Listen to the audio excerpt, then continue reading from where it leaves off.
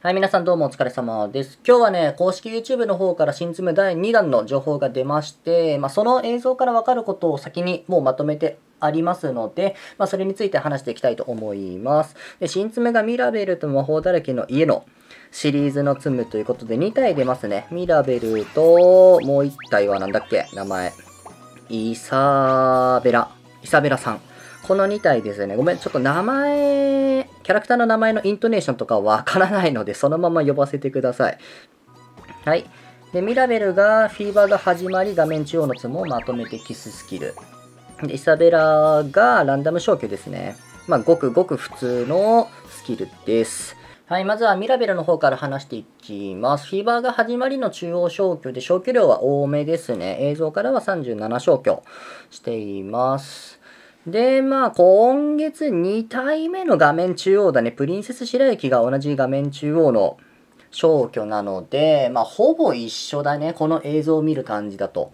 で、コイン補正は、これコインが全部入りきる前に映像が切り替わってしまうので、ちょっとわかんなかったです。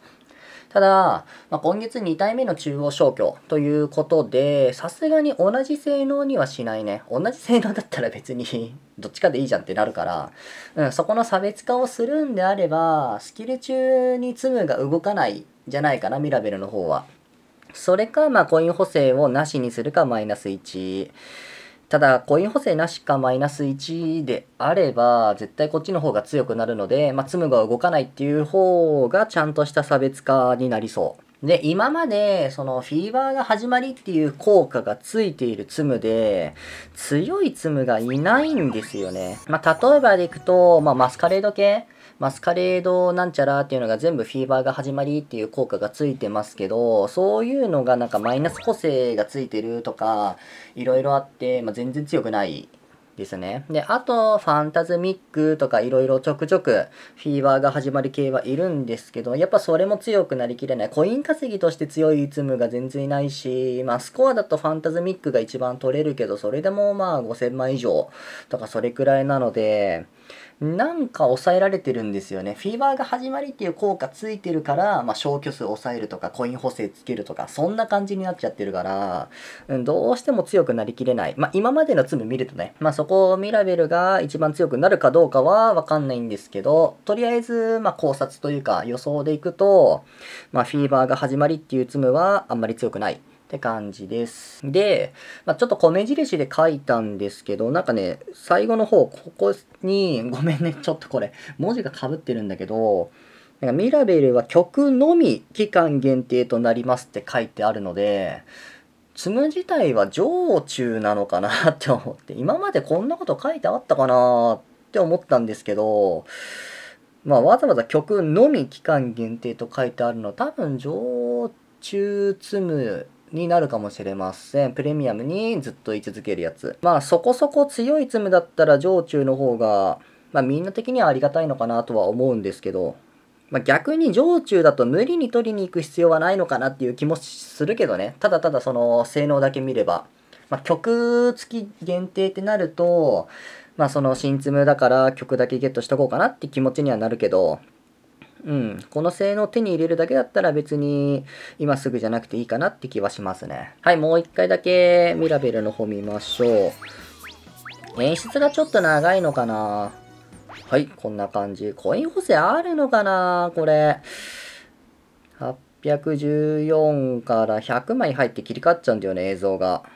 どうかななんかなさそうな気もするけど、いや、あるか。37消去っていうと、282コイン入るので、200、280、1100?1100 1100くらいまで行くんでしょ ?1100 まで、はい、入る？このコインの量で、1100、なんか入らなさそう。マイナス1あるかなマイナスにはさすがにないと思うけど、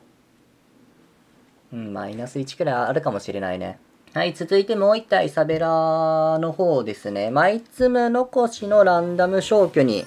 なります。この演出見ると、なんかツムスタのなんとかラプンツェルとほぼ一緒な気するんだけど、すごい使い回してる感が半端ないけどね、これ。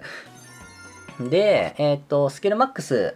で、35消去固定だと思います。まあ、ランダム消去はもう消去数固定なので、まあ、スキルまで35消去かな。で、コイン補正は、まあ、これもわかんなかったですね。これも映像が切り替わってしまうんですけど、まあ、ここまで入りきると、うん、予想はできるかな。多分、このままでいくと補正なしだと思います。間違えてたらごめんなさい。で必要積むは16ですね。まあ、枚積残しって言っても、この盤面で枚積が多いので、まあ、枚積も消しちゃってますね。で、1、2、3、4、5、6、7、8。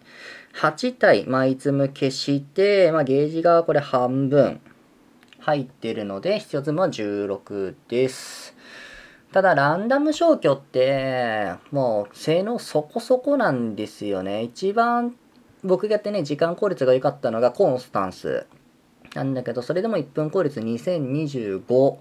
ということで、一番強いコンスタンスでもここまでしかないので、まあ、微妙というか普通というか、それくらいですね。はい、一応1分効率の表でいくと、まあ僕が検証したやつね。コンスタンスが47番ですね。2025ということで、まあ上見ると、まあ2100とか、もう2400とか、ここら辺がたくさんいるので、まあ超強いわけではないです。まあもちろん悪くはないけどね。周りも、周りのツム見ていけば、ウェンディとかアクアとか、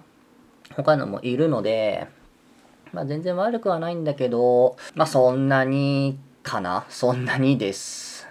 で、えっ、ー、と、チャイルドとか見ると、まあ70番くらいまで下がってしまうので、別に強くもないかなっていう感じ。一応検証積むは全部で228体です。はい、ここまでいってごめん、ちょっと画像黒塗りしてないけど、うん、一番最後が228体の中の、まあ、チャイルドとかでも70番なので、まあ、半分よりかは上だけど、上にまだ70体以上いるってなると、別に強く見えないかなっていう印象。で、下の表に一応他のランダム消去を、まあ、少しまとめたやつです。全部ではないんですけど、まあ、ある程度コイン稼ぎとか消去量多い積むをまとめたのがこちらになるんですけど、えっ、と、消去数的にはだいたいスキルマックスで35から38ですね。で、コイン補正があったりなかったりするんですけど、まあ、これでいくと、マイツム残しのツムが別に強いっていうわけでもないし、ただ、必要ツムの違いもそんなにないのに、コンスタンスだけやたら上とか、まあ、演出の短さもあるけどね、コンスタンスは。あるんですけど、やっぱその時その時のプレーの出来が結構関わってる気がするので、だって性能だけ言ったら、えっと、カブトドナルドとソックス、消去量同じ、コイン補正も同じ、ね、必要積むも同じなのに、マイツム残しかマイツム残しじゃないかだけでこんだけ差が出てる。と思いきや、えっと、マイナス補正があるかないだけで、コンスタンスとソックスでこんなに差が出るんですよ。結局、マイツム残さないこっち強くない？みたいなっていうあの状況が出てしまってるので結局その時のプレイ次第な気がしますランダム消去は。で、この比較表を見る感じだと、まあ、今回のエサベラが、えー、っと35消去のコイン補正は一応予想はなし。で、必要積む16ってなると、コンスタンスのマイツム残しバージョンになりますね。多分そこら辺ある程度、あの運営的にも性能があまり同じにならないようにしてる気はするんですね。まあ、これ見るとかぶってないので、この比較表でね。多分全く、あ、かぶってる、あ、かぶってないか。カブトドナルドとソックスがって思ったけど、まあ、いつも残しじゃないし。なので、まあ一応意識して被らないようにしてるはずなので、まあ、今回のサベラがコンスタンスのマイツム残しバージョンになる気がします。ただ、まあ先ほども言ったけど、ランダム消去っていう積む自体そこまで強くないので、まあ使っていくことはほとんどないと思いますけど、スキルを使うタイミングを考えなくていいから、まあ使いやすいし弱くはないんですけど、最近強いズムがたくさん出ちゃってるので、キャプテンバズだったり、パイロットルークだったり、まあそこら辺がいるので、どうしても強く見えないと思う。最近が割といい感じのズムが出てきてしまってるので、なんか無理して取っったところであんまり使わない気がするからね、ここら辺。とりあえず性能だけでいくとこんな感じですね。もう一回ちょっと言うけど、まあ、枚粒残しのランダム消去で、スキルマックスで35、コイン補正はわかんないけど、一応予想では補正なし。で、一つ目は16って感じですね。もう一回映像だけちょっと見ましょう。はい、イサベラで、はい、横にふらっといって35。はい。まあ、普通だね。映像を見ると本当に普通です。普通。はい、すいません。ちょっとミラベルのスキル映像を見返してるときに、こっち説明で必要詰めのことを言ってなかったので、加えときますね。えっ、ー、と、スキルで、えっ、ー、と、詰め消してるのこれ11個かな ?11 個消してて、フィーバーじゃない、スキルゲージが、まあ、4分の3くらい。4分の3ギリ届かないぐらい溜まってるので、おそらく必要詰め15ですね。で、もう1個気になったのが、この、まあ、点数と入ってくるコインの関係をちょっと調べてたんですけど、サブアカウントの方で、この、まあ、37消去くらいいく積むを、まあ、見てみたら、まあ、ロビンフットが近いんじゃないかなと思って37消去くらいできるってなるとね、まあ、タップで。ロビンフットマイナスの1段階かかってるんですけど、この800コインいくと、まあ、サバカも差別目のレベルはめちゃくちゃ低いので、まあ似たような感じになるんです。一応映像の方は画面の中に入れておきますけど、えっ、ー、と、37消去。フィーバー内で37消去して、えっ、ー、と、点数が26万。